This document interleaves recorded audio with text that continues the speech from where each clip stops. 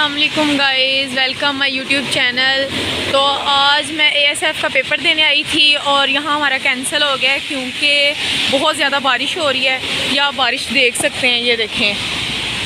बहुत ज़्यादा बारिश हो रही है, जिसकी वजह से ना हमारा पेपर जो है वो कैंसिल हो गया। उन्होंने 22 तारीख दी है कि आप तब तक आके अपना जो है वो पेपर दे सकते हैं। आप सबने दुआ करनी है। अल्लाह हाफिज़।